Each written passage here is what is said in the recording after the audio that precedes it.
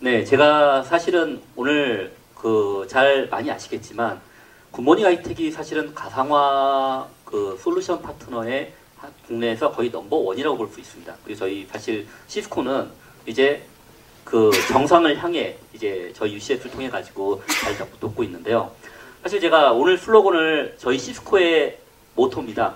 그러니까 여기에서부터 내일이 시작됩니다. Tomorrow Start Here. 저희가 이 모토를 한 2년 전부터 시작을 했는데 항상 저희가 발표를 해도 참 좋은 내용이더라고요. 이 부분에 대해서 저희가 그 설명을 드리면서 오늘 제가 발표 내용은 시스코 데이터 센터의 전략이라고 내용을 잡았습니다. 그러니까 제가 아까 차원이 다른 아키텍처 이건 저희 부제목이고요.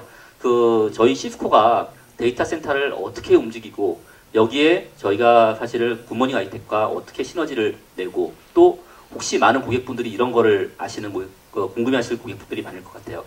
그러니까 시스코가 왜 UCS 사업 그리고 X86 사업에 들어섰는지 그리고 왜 시스코가 저 굿모닝 아이텍과 같이 협업을 하게 됐, 됐는지 그런 거에 대해 많이 궁금하실 것 같은데요. 제가 한 30분에서 40분 정도 저희 데이터 센터의 전략은 과연 무엇이고 앞으로 이 시스코가 어떻게 시장을 드라이브 해나갈 건지에 대해서 설명을 좀 드리도록 하겠습니다.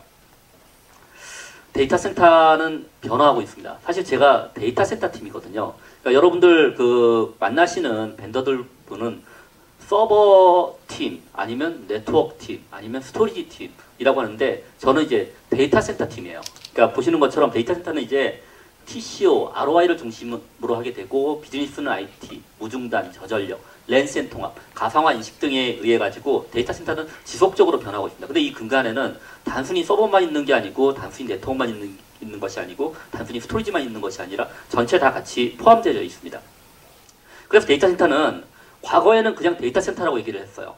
보시는 것처럼 왼쪽 그림 뭐 여기 네트워크 담당하시는 분도 계시고 서버 담당하시는 분도 계시고 가상화 담당하시는 분도 계시지만 제일 끝에 보면 라우터, 백본, L4, L3, L2, 서버, 스토리지 이렇게 횡으로 이렇게 아키텍처가 이루어집니다. 그리고 과거의 데이터는 이 백 라우터부터 시작해가지고 스토리지까지 데이터가 왔다 갔다 했어요. 근데 지금의 데이터 센터는 어떠냐? 이 횡으로 데이터들이 왔다 갔다 합니다. 그래서 보시는 것처럼 왜 밑에 보시는 것처럼 그냥 데이터 센터가 아니라 클라우드 데이터 센터라는 얘기를 많이 해요. 거기에 이제 가장 중요한 것이 이 데이터 센터 안에 이제 가상으로 다 들어간다는 겁니다. virtual desktop, virtual data center, 그 다음에 virtual application, 그룹웨어 가상화 이런 것들이 들어가는데 저희 시스코가 바라보는 관점은 다른 저희가 그 저희 경쟁사 아니 다른 vendor랑 약간 틀린 게 사실은 이 네트워크의 중요성이 과거보다 훨씬 더 중요해졌다는 겁니다.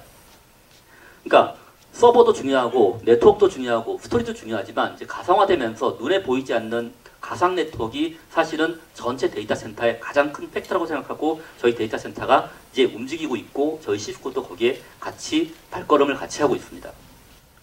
제가 오늘 내용이 데이터 센터의 도전 과제, 클라우드 데이터 센터, 그 다음에 Unified Computing System, 아무래도 UCS를 말씀드려야겠죠. 그리고 마지막으로 맺음말을 말씀드리는데 일단 데이터 센터의 도전 과제에 대해서 말씀을 드리겠습니다. 클라우드 인프라의 도전 과제는 사실 이렇게 됩니다. 제일 밑단에 스토리지가 있잖아요. 서버가 있고 그 위에 액세스 스위치, 분배 스위치, 네트워크 서비스, 그리고 백본, 마지막에 인터넷 라우터가 있습니다. 그리고 이 옆에는 지금 담당하시는 분처럼 네트워크 관리자, 보안 관리자, 서버 관리자, 스토리지 관리자들이 있어요. 근데 여기를 좀 자세히 보면은 fabric은 딱 서버를 중심으로 위쪽은 이더넷, 아래쪽은 Fibre Channel, 스토리지 네트워크입니다. 그리고 클라우드로 가면 갈수록 end-to-end로 지금 이더넷 으로 네트워크가 움직이고 있어요.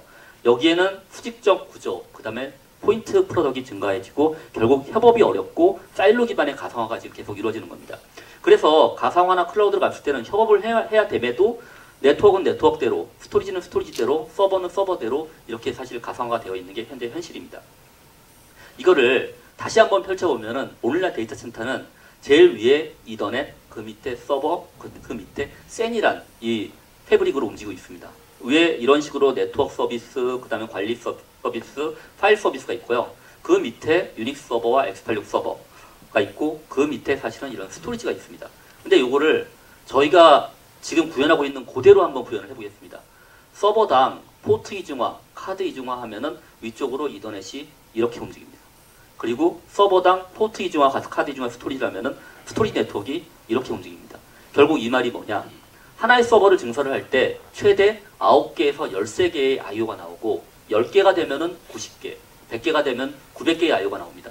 이 쉽게 설명을 하면은 내가 서버를 하나 증설할 때마다 이 포트가 9개씩 늘어나기 때문에 그 위에 이더넷 스위치, 센 스위치를 증설을 해야 돼요. 근데 90, 10개, 100개가 돼버리면은 단순히 서버에 있는 카드는 30만원, 50만원, 위에 L2 스위치는 300만원에서 몇천만원, 마지막에 L4 백본까지 가면은 이 모듈 한 장당 5천만 원, 1억. 그러니까 내가 서버를 하나 증설함으로 인해 가지고 상황에 따라 어떤 critical point가 지나가 버리면 진짜 억 이상의 인프라가 추가되어야 된다는 그 결과가 나오게 됩니다. 사실 이, 렇기 때문에 클라우드로 지금 못 가는 겁니다. 지금 많은 분들이 클라우드를 얘기를 하지만 클라우드로 가면은 단순히 서버 통합, 데스크탑 통합 이것만이 문제, 문제냐? 그게 문제가 아니라는 거죠. 인프라 전체가 바뀌어야 되기 때문에 많은 분들이 이거에 대해서 한 번에 못 가고 단계로 step by step으로 이제 움직이는 겁니다. 그러면은 지금 가상화 클라우드 데이터 센터의 과제가 뭐냐? 지금 많은 IDC 여러분 계시는 KT IDC나 뭐 LGU 플러스 IDC 그다음에 그 SDS IDC 뭐 SKT IDC에는 이런 식으로 인프라가 되어 있어요. 어, 보면은 이제 서울 시내에 있는 데이터 센터가 될, 되면 될수록 이제 전력을 많이 안 쓰기 때문에 이 정도로 안 쓰고 반 정도의 서버를 놓죠. 그리고 그 위에 TOR 스위치 두 대, 그 다음에 storage 스위치 두 대, 그 다음에 관리 스위치 하나. 그걸 보시면은 이렇게 되는 겁니다. 관리용 스위치, 이더넷 스위치, SAN 스위치 이렇게 모든 데이터 센터들이 지금 아키텍처가 움직이고 있습니다. 그러니까 내가 서버를 증설할 때마다 위에 무조건 스위치 두 개를 집어넣고 SAN 스위치 집어넣고 그 다음에 관리 스위치처럼 rack 하나당 다섯 개의 스위치가 올라가야 된다는 거죠. 그리고 여기에 가장 큰 문제점은 오른쪽과 같은 이런 fabric에 대한 그게 나온다는 겁니다. 실례로 KT 데이터 센터, NHN 데이터 센터, 그 다음에 SKT 데이터 센터가 이런 식으로 되어 있습니다. 그 말 그대로 저 fabric 하나, 서버 하나 장애 났을 때 케이블 타이 끊고 위아래, 위아래 서버를 절체를 해가지고 서버에 대한 장애를 하고 하는 식으로 지금 fabric이 되어 있는 거죠. 그렇기 때문에 지금 데이터 센터의 가장 큰 문제점이 시스코는 fabric이라고 생각하고 있습니다. 그럼 데이터 센터의 networking은 어떠냐? 조금 전 그림을 그대로 다시 한번 보이, 보이게 되면은 이렇게 서버 rack이 되고 제일 오른쪽에 스토리, storage rack, 제일 마지막에 네트워크 rack 이런 식으로 데이터 센터가 움직이고, 움직이고 있습니다. 이게 TOR이냐 EOR이냐에 따라 가지고 데이터 센터들이 이렇게 움직이는데 뒤에를 보시면은 TOR 제일 위에 조금 전 보시는 것처럼 제일 위에다가 스위치들을 다 집어넣는 거예요. 그 제일 끝에다가 backbone을 집어넣습니다. 이 경우 어디가 제일 많이 이런 데를 많이 쓰느냐? KT, SKT, NHN이 이 방식의 데이터 센터를 움직입니다. 왜 이렇게 움직이는지 아세요? 비용 때문입니다. 왜냐면은 저 TOR 스위치는 하나에 100만 원, 300만 원, 뭐 ten G로 가면은 1000만 원까지 가게 되고 오른쪽으로 가, 게 되지만 가장 큰 문제점이 비용은 싼 게 싸지만 저 관리 포인트가 엄청 많아집니다. 저 스위치 하나하나마다 제가 관리 포인트를 매겨야 되기 때문에 IP address가 엄청나게 늘어나요. 반대로 좀 돈이, 돈이 기업이 많은 기업의 돈이 많은 데이터 센터는 아래와 같은 형태의 EOR을 움직입니다. 저 데이터 센터는 뭐냐? 삼성전자, 그 다음에 SDS 데이터 센터, 그 다음에 여기 뭐 55에도 있지만 오토에버, 현대자동차 이런 데이터 센터들은 비용을 들여서라도 관리 포인트를 줄입니다. EOR이라고 하는 것처럼 오른쪽에 비싼 저희 뭐 넥서스 7000이나 넥서스 9000, 카탈리스트 609라는 그 backbone 그 modular 스위치를 집어넣고 거기에다 라인 카드를 증설을 해가지고 케이블을 다 뽑는 겁니다. 그런 데이터 센터를 보면은 천장에 가면은 이만한 그 이렇게 큰 그 데이터 케이블이 뭉쳐 있죠. 밑에는 비용이 비싼 대신에 어떤 어떤 장점, 장점이 있느냐? 비용이 비싸지만 관리 포인트가 엄청나게 단순해져요. 제가 오른쪽 저 backbone에 들어가 가지고 모든 그 rack의 그 management를 할 수 있습니다. 그러니까 이게 TOR이냐 EOR, EOR에 따라서 데이터 센터의 장단점이 그대로 드러나요. 그럼 시스코는 데이터 센터를 어떻게 좀 바꾸고 싶느냐? 분산형 modular 스위치가 지금 말씀드린 EOR 스위치예요. 비용이 많이 들고 그 대신 관리 포인트는 적죠. 이거를 backbone 스위치에다가 FEX라는 디자인의 더미 스위치를 갖다 놓는 겁니다. 그러면은 넥서스 7000에 5000을 집어넣으면은 이 밑에 스위치 밑에는 말 그대로 머리가 없는 꼬리만 있는 그 말 그대로 modular 형태의 라인 카드들을 rack 위에다 다 장착을 시켜버리는 거예요. 그 말은 저 위에 제가 그 넥서스 7000이나 5000에 들어가면 그 밑에는 전부 다 라인 카드로 보입니다. 그렇게 구현을 하게 되면은 이런 식으로 EOR과 TOR의 장점인 그 데이터 센터가 나타나게 되죠. 어디가 이렇게 바꾸, 바꿨느냐? SK텔레콤, NHN이 이렇게 바꿨습니다. 사실 작년에 NHN이 춘천 데이터 센터를 만들 때 요렇게 한 200억 정도의 이 스위치가 들어갔습니다. 그러면 고객한테는 어떤 입장이 되느냐?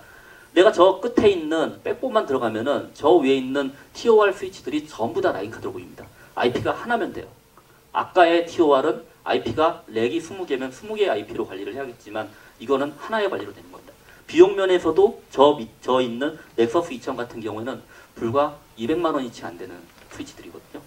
그걸 dummy로 갖다 쫙 깔아가지고 이렇게 움직이는 게 사실 그 시스코가 제시하는 FEX 디자인입니다. 근데 이게 뭐냐?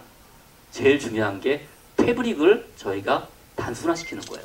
그러니까 아까 말씀드린 그 쉽게 말하면 cabling, 그 어렵게 말하면은 fabric을 단순화시키고자 하는 게 시스코의 어떻게 보면 가장 큰 concept이라고 볼 수 있습니다.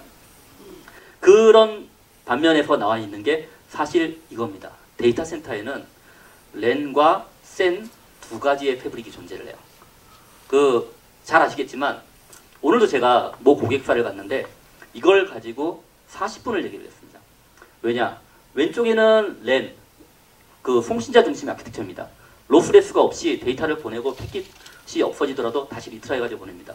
오른쪽은 수신자 중심의 loss가 lossless가 전혀 없죠.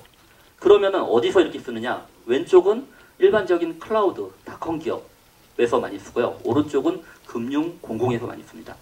이더넷은 다 쓰지만 스토리지 네트워크를 왼쪽에 iSCSI로 가느냐 아니면 Fibre Channel을 가느냐 고객들이 많이 고민을 하고 있어요. 비용 왼쪽이 쌉니다.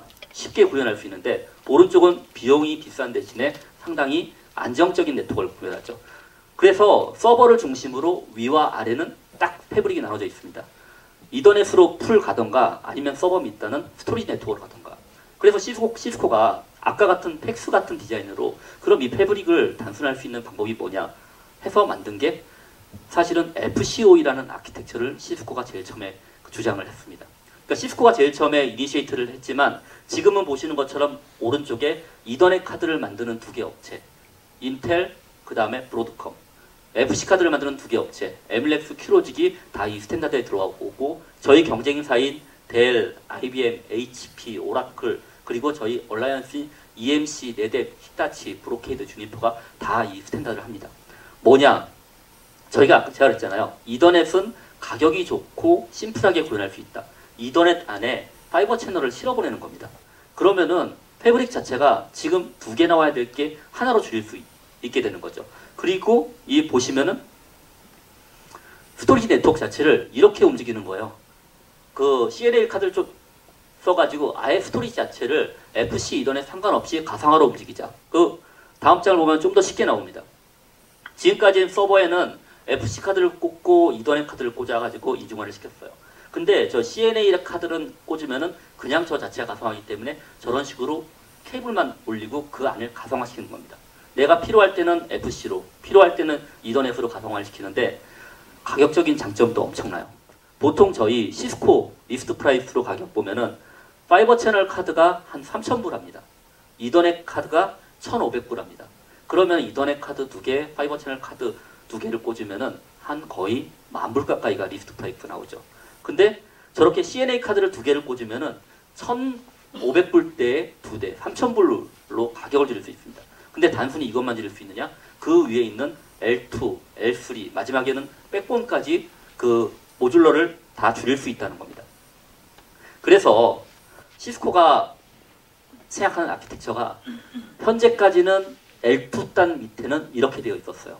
제일 위에 스위치를 놓고요. 스위치를 놓고 밑에 스토리지를 놓고 이렇게 패브릭 자체가 FC나 이더넷이 되는 복잡한 상당히 좀 복잡해 보이잖아요. 그럼 어떻게 바뀌느냐? 저희 IO를 통합하면 시스코는 이렇게 바뀝니다. 밑에 보면은 저희 고객 중에 이런 고객이 있었어요. 그 iSCSI로 제일 처음에 그 프로젝트를 initiate 했습니다. 한 몇천 유저 VDI를 iSCSI로 했는데 성능이 안 나오는 거예요. 그러면 FC로 바, 꿔야 되는데 FC로 바꾸면 뭐가 바뀌어야 되느냐? 제가 아이, iSCSI로 발의를 해가지고 FC로 바꾸게 되면은 제일 먼저 카드가 바뀌어야 됩니다.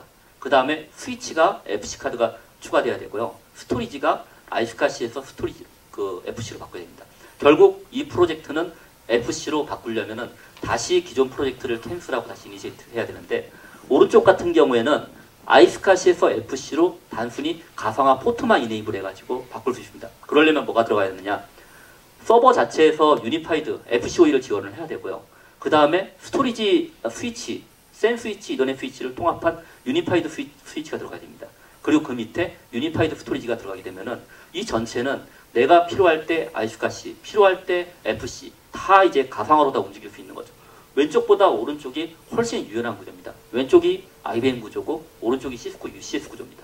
이렇기 때문에 시스코 UCS가 시장에서 아 다른 아키텍처로 기존 거보다 틀리다 이렇게 각광을 받는 거고요. 좀 쉽게 말씀드리면 이게 HP blade의 뒷면입니다. 그리고 이게 IBM blade의 뒷면이에요. 복잡해 보이지만 정렬 어떻게 보면 깔끔한 것 같아요. 노란색이 FC 케이블이고 파란색이 이더넷 케이블입니다. 앞에도 마찬가지입니다. 여기 보면은 저 파란색, 빨간색은 그 이더넷 케이블이고 위에 까만색은 FC 케이블, 케이블입니다. 그거를 저희 시스코랑 비교를 하면은 이렇게 아, 아, 잘 들리시죠? 근데 잡음이 좀 일어나네.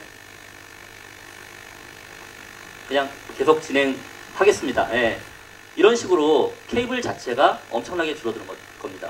그리고 지금 고객분들께서 KT 데이터 센터의 렉을 보고 계시고 오른쪽은 더존 데이터 센터의 보- 보시게 되는 겁니다. 지금까지 모든 IDC는 네, 지금까지 모든 IDC는 왼쪽과 같은 구조로 움직였는데요. 이제는 데이터 센터가 아, 아, 아, 아 들리시죠? 예, 그냥 계속 진행하겠습니다. 빨리 끝내셔야지 영화를 빨리 보시니까요. 제가 빨리 끝낼 수 있도록 진행, 진행, 진행하겠습니다. 오른쪽은 unified 구조예요. 그러니까 blade에서 케이블이 안 나오고 저런 식으로 쉽게 움직이는 겁니다. 이거를 실제로 40% 이상 납니다. 뒤에 보시면은 제가 이 고객사 사례로 이 데이터를 그대로 말씀을 드리겠습니다. 보시는 것처럼 point product가 줄고 케이블이 줍니다. 그리고 위에 스위치가 줄어요. 그렇기 때문에 40% 이상의 비용 절감의 효과를 나타나게 됩니다.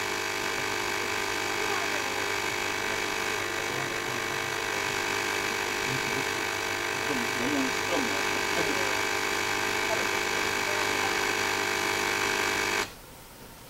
아, 아. 들리시나요? 제가 좀 크게 얘기를 할- 이게 더 나을 것 같은데요. 네. 오히려 주무시기도 더 편하실 것 같아요. 그래서 데이터 센터를 보면은 이렇게 그림이 나타나는, 나타나는 겁니다. 제가 가까이서 하겠습니다. 그러면은 시스코의 데이터 센터의 모습은 과연 어떻게 되느냐 보시면은 일단은 지금까지 말씀드린 unified architecture로 가는 거예요. 그리고 제일 위에다가 Nexus 7500으로 저렇게 fabric 디자인을 합니다. 그 밑에 UCS로 L2 부분을 단순화합니다. 그리고 오른쪽에 기존에 유닛 서버 쓰고 계시잖아요.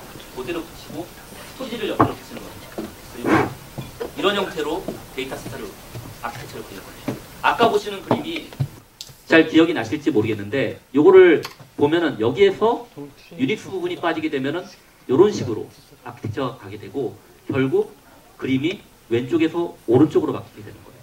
근데 지금 있는 모든 데이터 센터, 모든 아이 그 IDC, 모든 전산실, IT룸은 사실은 왼쪽 구조입니다. 오른쪽으로 바뀌기 위해 가지고 뭐가 필요했느냐? 사실 시스코가 보시는 것처럼 위에 서버 위에다는 상당히 잘했어요. 그 라우터 스위치 worldwide number one이고요. 근데 하나가 딱 문제가 있었습니다. fabric을 바꾸자면은 저희가 storage단까지 가야 돼요. 근데 저 중간에 저희랑 같이 제일 많이 협업한 업체가 IBM과 HP입니다. 왜냐? 저희는 Ethernet단만 했고 IBM에 들어가는 IBM에 들어가는 blade 서버, IBM에 들어가는 네트워크 서버, 네트워크의 스위치 전부 다, 다 시스코 공급했어요. HP 오히려 더 IBM보다 훨씬 더 전략적으로 가까이 움직였습니다. 근데 HP랑 IBM을 하다 보니까 이 파트너들은 이 vendor들은 사실 인프라가 바뀌는 게 별로 달갑지가 않아요. 인프라가 바뀌면 가상화가 되고 서버의 수량이 줄어듭니다. 근데 저희가 인프라를 바, 바꾸려면은 EMC, NetApp, 히타치랑 커뮤니케이션 해야 되는데 서버 업체들에서 저거를 받고 있는 겁니다. 그럼 시스코가 인프라 바꾸기 위해서 어떻게 해야 되느냐? UCS 서버를 launch를 해가지고 IBM HP가 아닌 를 통하지 않은 NetApp, EMC, 히타치와 direct로 커뮤니케이션 하고 싶어서 사실 UCS를 launch한 겁니다. 보시는 것처럼 전체 네트워크 하이퍼바이저 스토리지를 끼워 맞추는 퍼즐이 UCS인 겁니다. 그렇기 때문에 저희가 X86 시장을 그 출시를 한 거고 이 단순히 기존에 생각하시는 서버가 아닌 인프라 전체를 바꾸기 위한 네트워크 서버를 사실 UCS로 출시를 하게 된 겁니다. 그러면은 시스코의 전략은 지금까지 말씀드린 것처럼 unified fabric 그리고 unified computing, unified management 이 세 가지가 사실 시스코 데이터 센터의 전략이라고 할 수 있습니다. 그리고 앞으로도 시스코는 이렇게 움직일 겁니다. 여기까지는 제가 설명을 드렸는데 이제 그럼 UCS가 과연 어떻길래 UCS가 지금 시장에서 UCS, UCS 하고 UCS가 기존의 IBM HP 10년, 20년 서버를 해온 거에 지금 계속 그 성장하고 있는 이유를 한번 보겠습니다. 일단 제가 아까 처음에 보신 것처럼 full rack을 32, 42U 기준으로 32개의 서버를 썼을 때 위에 5개의 스위치가 필요합니다. 근데 보통 지금 보면은 데이터 센터는 전력 그 전력 때문에 저렇게 half rack을 쓰죠. 16대 5의 디자인으로 많은 데이터 센터가 쓰고 있습니다. 근데 이제 mini rack 디자인 했을 때 16대 5잖아요. blade 디자인 되면은 16대 5가 하나의 스위치 위에 위에 하나의 서버 위에 이제 스위치가 들어가는 게 사실 일반적인 blade의 디자인입니다. 그러면은 IBM, HP, 델, 오라클 다 똑같습니다. 16대 5가 14대 5냐, 10대 5냐, 그 다음에 아니면은 8대 5냐 이 차이인데 그럼 시스코 UCS는 요 인프라를 아, 네, 요 인프라를 이렇게 바꾸고 싶은 겁니다. 보시는 것처럼 하나의 4개, 5개의 스위치가 있는 게 아니라 160개 서버에 2개의 스위치 그리고 필요에 따라 저 위에 L2를 올리는 그러니까 두 개의 저희가 fabric interconnector라는 unified fabric 스위치를 통해 가지고 저 스위치가 관리 서버 역할을 하고 160대 서버를 그 management 할 수 있습니다. 이걸 보시면은 이렇게 blade rack 서버를 올리고 그 위에 fabric interconnector를 올리는 게 UCS의 아키텍처예요. 그리고 저 뒷단은 전부 다 지금 제가 말씀드린 FCOE로 다 가상화를 합니다. 케이블 수, fabric이 제일 많이 있는 데가 사실은 L2 하단이에요. 그러니까 L2 스위치 밑에 서버 하단이 가장 많은 케이블과 I/O를 발, 발생을 시키는데 저 부분을 통합해가지고 만들자는 게 저희 사실 UCS의 가장 큰 컨셉입니다. 그래서 보시는 것처럼 이 blade 서버에 fabric interconnector를 집어넣고 저기에 ten G 스위치로 FCOE, ten G 케이블로 FCOE로 하나하나 꽂았을 땐 ten G ten G 8개 꽂았을 때는 80G 80G로 active active로 동작을 하는 겁니다. 그리고 저희 넥서스 스위치랑 같이 움직이면은 사실은 서버의 카드 단부터 스위치 단까지 다 active active로 페이트리가 발생을 안 합니다. 그래서 보시는 것처럼 아키텍처에 보면은 저 두 대의 통합 관리 스위치가 160대 서버를 관장을 하고요. 그 위에 이렇게 기존에 있는 인프라에 연결이 되는 겁니다. 그러니까 그 기존 인프라에 그대로 호환되면서 저희 패브릭 인터넷 밑에는 케이블 수가 엄청나게 줄어들고 스위치가 줄어들게 되는 거죠. 그래서 여기가 FCOE 구간입니다. 저 윗단도 FCOE 구간을 만들기 위해서 사실 저희가, 저희가 넥서스와 UCS를 같이 결합시키는 겁니다. 그래서 일반적인 데이터 센터에 UCS가 들어가면은 이런 형태의 구조가 바뀝니다. 위에 보시는 것처럼 management, heartbeat, L3, 백업, NAS 기존 인프라는 똑같지만요. 저 위에 L, 그 통합 fabric interconnector 스위치를 통해 가지고 UCS를 넣고요. 그리고 옆으로 확장을 시켜 가지고 이런 식으로 확장이 되는 겁니다. 그러니까 클라우드가 있는 플랫폼에 그대로 저 fabric interconnector만 들어가면서 밑에 되는 거고요. 그래서 저희가 이제 그런 굿모닝아이텍이랑 제안하는 그 아키텍처를 더 심플하게 저 위에도 한번 바꿔보자는 거죠. 바꾸면 어떻게 되느냐. 제일 위에 넥서스 7000이나 넥서스 5000을 집어넣고 저단도 FCOE로 조이는 겁니다. 그러면은 보시는 것처럼 fabric interconnector 밑에 blade chassis를 집어넣고 케이블만 두 개만 연결시키는 거예요. 집어넣으면은 케이블 연결, 집어넣으면 케이블 연결. 수직 확장이 심플해집니다. 서버를 집어넣고 케이블을 하고 전원을 켜면 provisioning이 됩니다. 그리고 여기에 서버팜이 확장될 때는 그대로 이렇게 움직이는 거죠. 이렇게 되, 기 때문에 클라우드 아키텍처, 가상화 아키텍처 VDI 아키텍처에 사실 가장 적합한 플랫폼들이라고 고객분들께서 말씀을 하고 계세요. 그러면은 UCS만 된 아키텍처가 또 하나가 더 있습니다. 여기 있는 고객들 중에 분명히 예산 때문에 rack 서버를 파일럿 프로젝트로 하시는 경우가 있어요. 서버 통합이건 아니면은 VDI건. 예를 들어 가지고 1000명 VDI는 blade로 가야 돼요. 50명 VDI, 100명 VDI를 blade로 가면은 ROI가 안 나옵니다. 그러면 이 rack 서버 위에다가 저희가 이 위에 fabric 인터페이스를 그대로 올리면은 그대로 blade의 아키텍처를 저희가 rack 서버를 blade 아키텍처로 그대로 움직이는 겁니다. 어떻게 되느냐? 뒤에 똑같은 그림을 보겠습니다. 제일 처음에 똑같은 그림의 rack 서버로 저희 fabric 인터페이스에 연결을 합니다. FCoE로요. 그러면은 저 rack 서버는 초기에 파일럿 VDI로 움직이는 거죠. 근데 blade가 확장이 돼요. 그러면 저 rack 서버를 그냥 쓰셔도 되고 필요에 따라 여기에 GPU를 꽂아가지고 GPU VDI로 쓰는 겁니다. 이 부분을. 그리고 밑에 blade가 필요하면은 blade를 그대로 붙이는 겁니다. 그러니까 쉽게 말하면은요, rack 서버와 blade를 farm을 따로 만들 필요가 없습니다. 지금 고객분들 거의 모든 고객분들께서 이렇게 쓰고 계세요. rack 서버를 쓰고 계시고 그다음에 blade로 들어오면은 rack 서버를 관리 서버나 다른 용도로 그냥 쓰시고 이거를 farm에서 떼어버립니다. 그리고 blade로 새로 이제 farm을 구축하죠. 같이 구축하자는 거죠. 그리고 확장이 될 때는 이런 식으로 확장이 되는 겁니다. 그러니까 가장 심플하게 확장, 그 다음에 줄이고 인프라 변경이 가능한 거죠. 그리고 저희 UCS 매니저는 저런 식으로 단순히 서버에 대한 management가 아니라 랜, 센, VM, 어드민에 대해서 전체 admin, 진짜 admin을 위한 저 매니저를, management를 제공을 합니다. 그래서 또 하나의 UCS 장점 중에 하나가 이겁니다. 보통 일반적으로 가상화를 하면 live migration을 많이 그 VMware나 Citrix가 얘기를 해요. 근데 그게 아니라 하드웨어적으로 진짜 migration 할수 있는 profile을 저희가 제공을 합니다. 저 모든 하드웨어 profile 자체를 하나의 그 profile로 만들어 가지고 요 전체를 하드웨어에 프로그램을 합니다. 그러면은 어떤 예가 되느냐?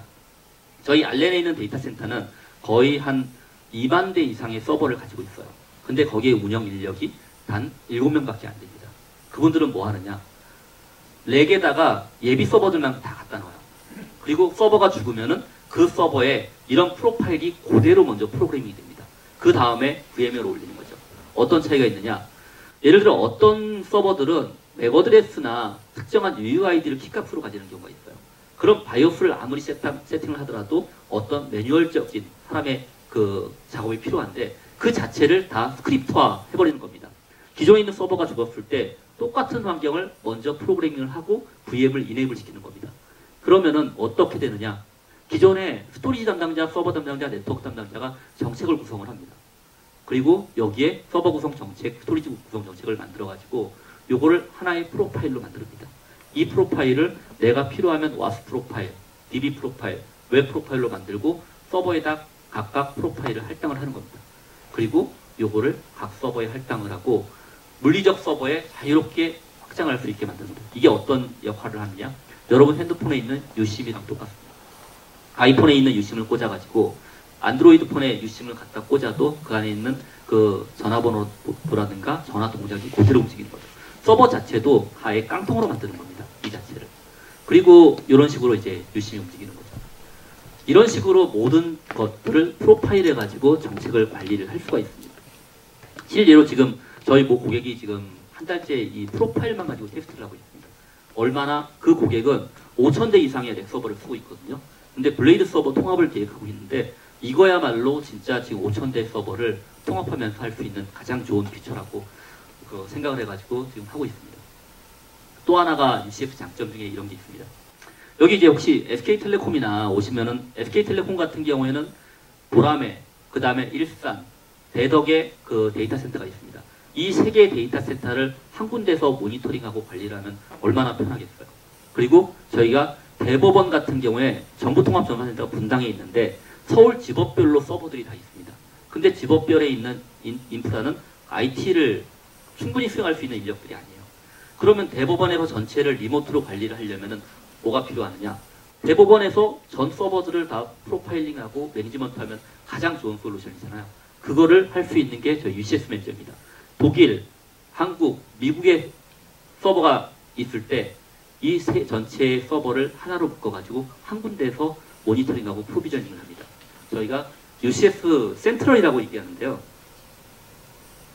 그러니까 국내 최대 중공업 회사인데 보시는 것처럼 기존에 VMware, EMC, 그 다음에 저희 HP blade가 기존에 들어가 있었어요.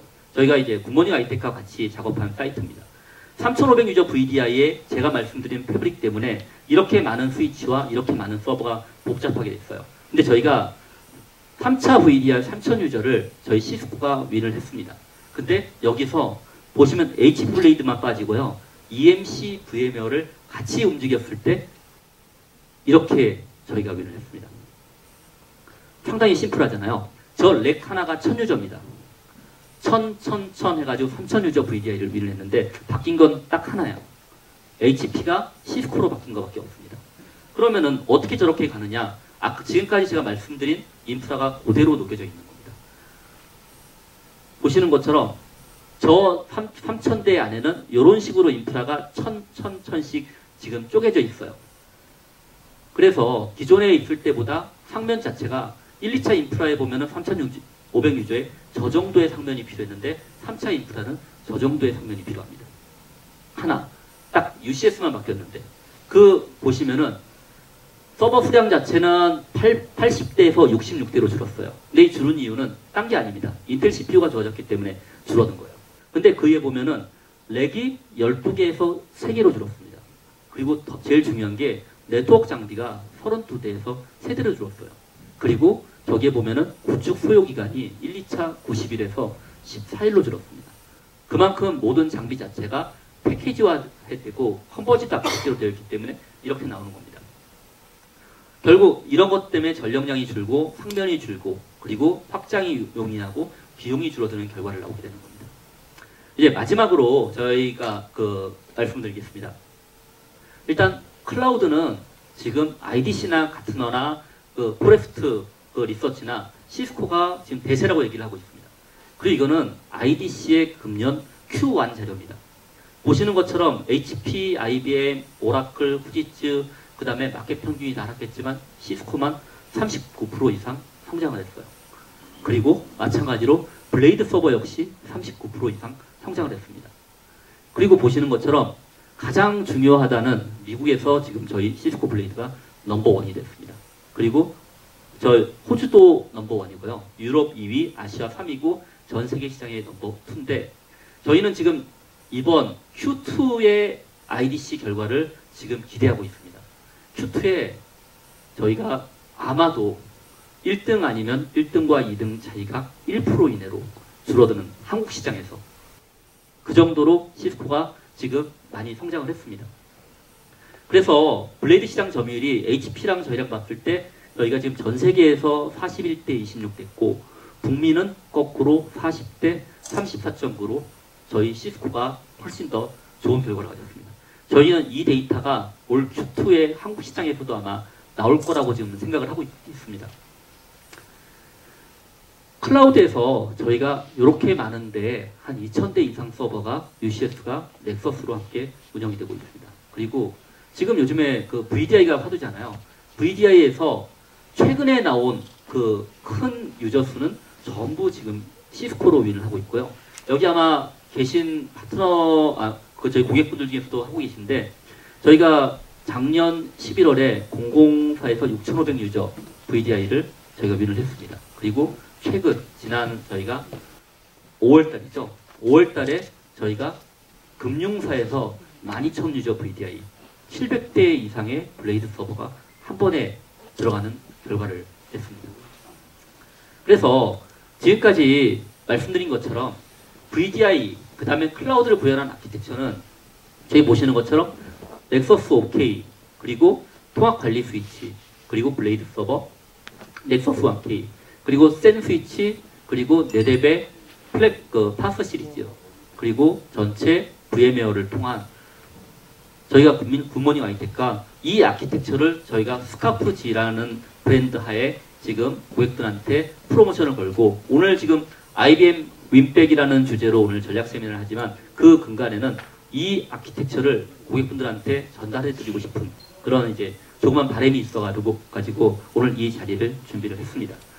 네. 네, 이상으로 제 발표를 마치고요. 이 제 시간이 사실은 제가 20분을 했으면 하는데 좀 많은 시간을 좀 요청을 하셔가지고 한 35분에서 40분 정도로 준비를 했습니다. 예, 와인을 좀 드셔가지고 피곤하실 수도 있는데 다음 저희 발표자신 이은경 부장님한테 다음 발표를 좀 부탁드리면서 자리를 좀 마감하겠습니다. 네, 감사합니다.